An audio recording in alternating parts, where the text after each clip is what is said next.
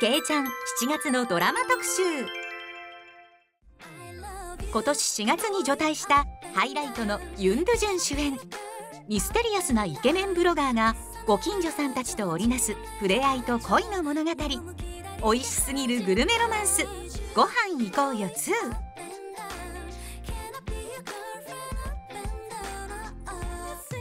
イ・ミンホ、チョン・ジヒョン豪華共演。時を超えて巡り合った人間と人魚の美しく切ないラブストーリー。青い海の伝説。ジェジュン演技派イボムスイムシワン夢の共演。数奇な運命をめぐる三兄弟の物語。トライアングル。けいちゃんのお問い合わせはこちらまで。